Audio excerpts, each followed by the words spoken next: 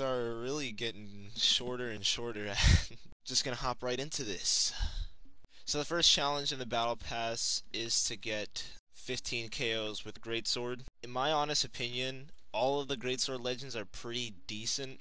Magyar, on the other hand, is a little bit lackluster. I don't think he's as good as Jaeyun. He's definitely not nearly as good as Mako. Uh, Sig wise, weapon combo, kind of meh. But when it comes down to Jaeyun and Mako, both of them have the same uh, base attack and defense.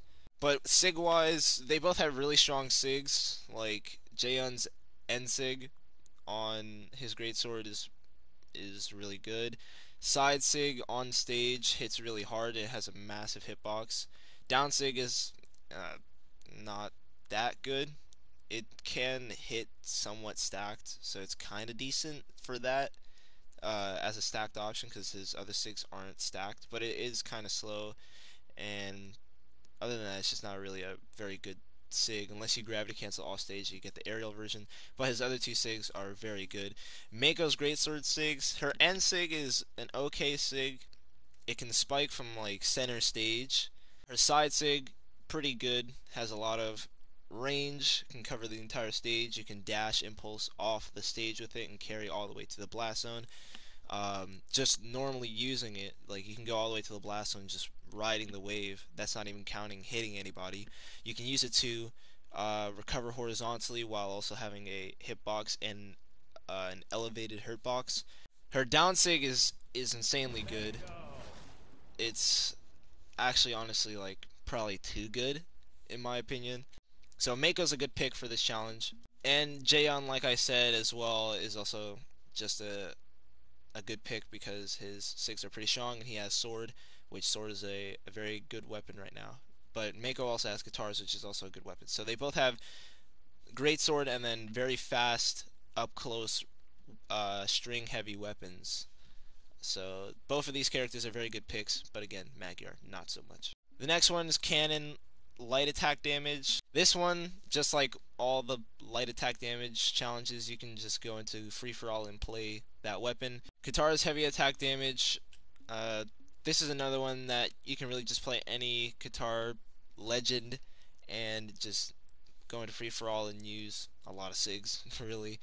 Caspian is probably by far one of the better Katar legends to pick because this dude has, well, he has that base 7, but you can get it up to 8.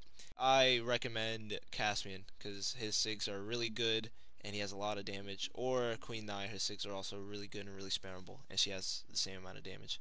The next challenge is to win matches as legends who have ties to, I'm just gonna say Batavia. I don't know how you pronounce that that word. And the characters that you can play as in order to complete the challenge are Caspian, Magyar as well is also connected to the Batavia Onyx, and of course Volkov. He is actually the prince, if I'm not mistaken. So all those legends can be used for that challenge. In case you didn't know what legends to use, just win a match with those legends.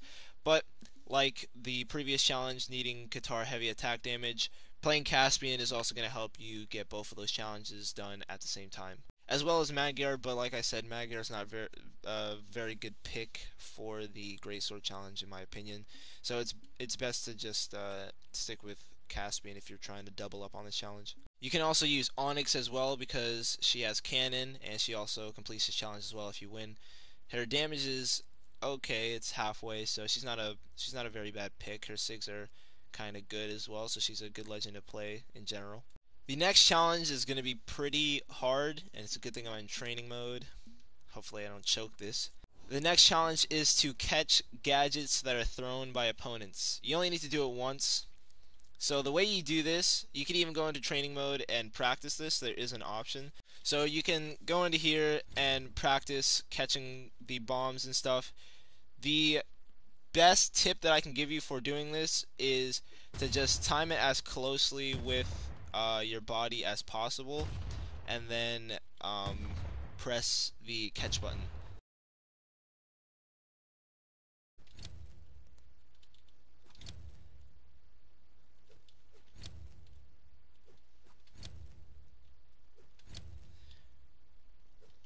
So you can just sit in here, practice this, mess around with it a little bit, get a high score, and uh, once you get really good at it, you can go into a match and try to do this. You only need to do it once, like I said so uh, you don't have to worry too much about uh, having to do this too much.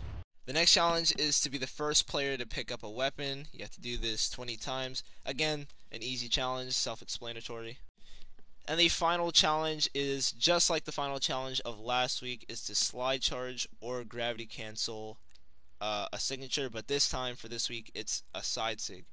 So if you don't know how to slide charge or gravity cancel, just watch my previous guide. I detail that in the end of the video for that final challenge. So basically you have to do that again this week the exact same amount of times, but this time doing a side sig instead of a down sig. If this guide did help you, be sure to check out my other ones in case you need help with those weekly challenges, as well as all my other videos in case you enjoy them, and I'll see you guys in the next one.